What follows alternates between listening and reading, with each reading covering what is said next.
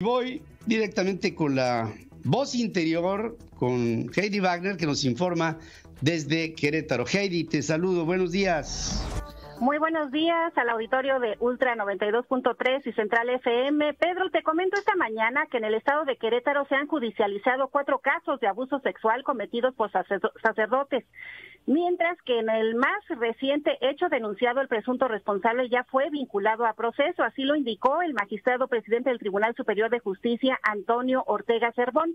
Aseveró que estos casos en el histórico que han registrado en el Tribunal Superior de Justicia desde hace varios años y detalló que es uno de los casos que se llegó a una solución alterna de conflicto porque en este delito se puede resolver de esa forma, además del caso que está en proceso y otros dos que fueron judicializados. Pedro, en el caso del presunto abuso sexual cometido contra un niño en la colonia Reforma Agraria, en la capital queretana, el magistrado explicó que en la audiencia inicial se determinó la vinculación a proceso por este delito y se determinó un plazo de investigación de dos meses.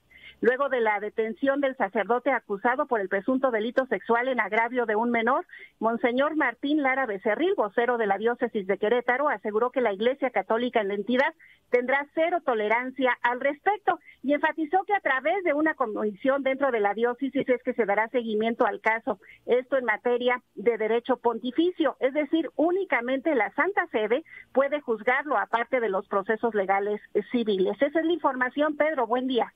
Gracias, Heidi, por esta información de estos constantes abusos que se dan en la Iglesia Católica eh, sobre pues eh, condiciones son verdaderamente inconfesables, pero pues desafortunadamente así ha sido este deterioro. Eh, gracias como siempre, Heidi.